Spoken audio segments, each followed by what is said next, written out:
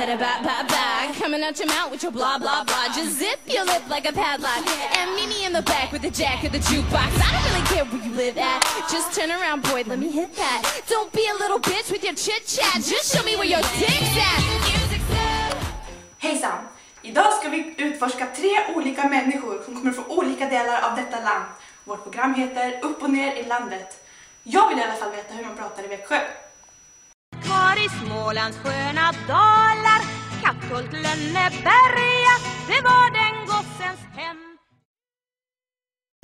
Ja, hejsan Greta. Nu är vi äntligen här. Hur står det till idag? Jo, det är så bra till. Jag har fått mitt morgonkaffe så nu är jag på gång. Gud vad bra. Jo, det är så att vi har åkt ända ner till Växjö då och för att få lite information om småländskan så skulle du kunna berätta lite för oss? Ja, det kan jag göra.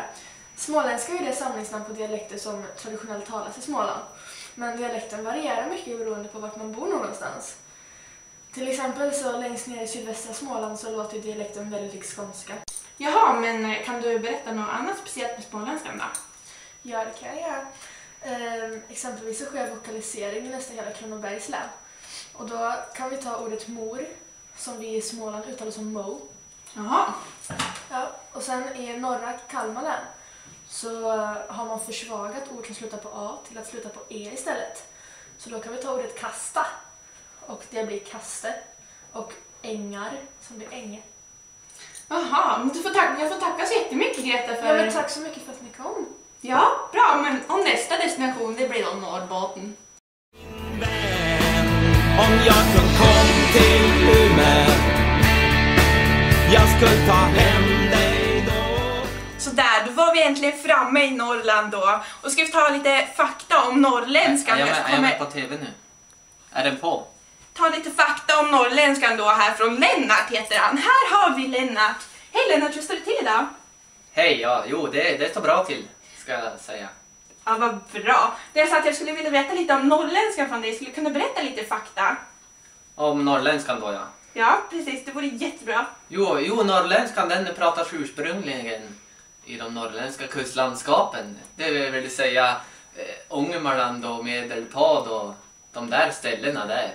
Plus några till, men de eh, orkar jag inte nämna när, det är så, när jag är med i TV. De kommer alla tro att jag är en sån där nörd, pluggar på allting, men det gör jag inte.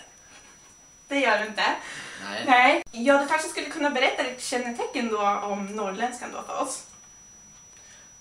Det märks att du är från storstaden. Och Men om du vill att jag ska vara så noga nu när jag ska berätta det här så ska jag säga dig att predikatsfyllnaden den böjs inte. Till exempel som de är inte dum. Det blir alltså de är inte dumma. Så jättemycket. Men jag måste bara få säga en sak. Du har verkligen jättemycket bilar här. Alltså leksaker och lego. och- Jag trodde vi skulle prata om norrländskan i helvete. Jag klagar på mina bilar. Det har jag haft sedan barnsben och de ska du ge fan i. Helvete, nu går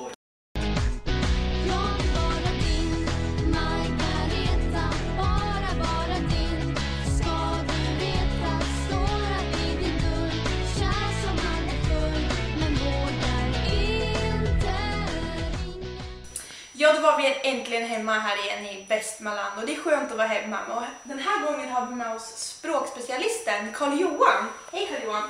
Hej, Hur står det till idag? det står bra till idag. Det var bra. Skulle du kunna berätta lite om rikssvenskan för oss? Ja, rikssvenskan det är det språk som talas utan några dialekter.